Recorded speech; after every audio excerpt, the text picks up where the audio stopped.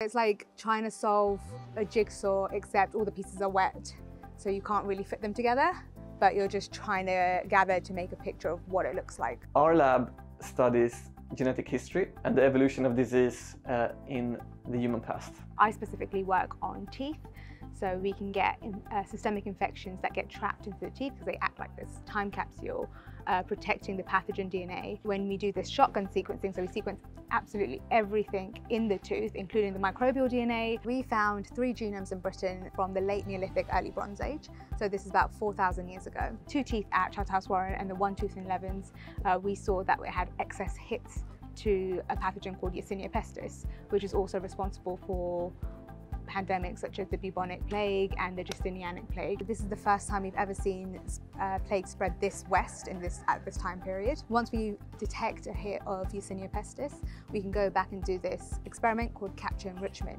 So we use these baits and they go into the sample and they pull out anything that looks similar to Yersinia pestis. We can try and create a complete genome to see what's been lost over time. By understanding the past, we hope to understand uh, how disease or infectious disease evolve um, and understand better this evolutionary arms race that infectious disease has with um, its hosts, um, including us humans.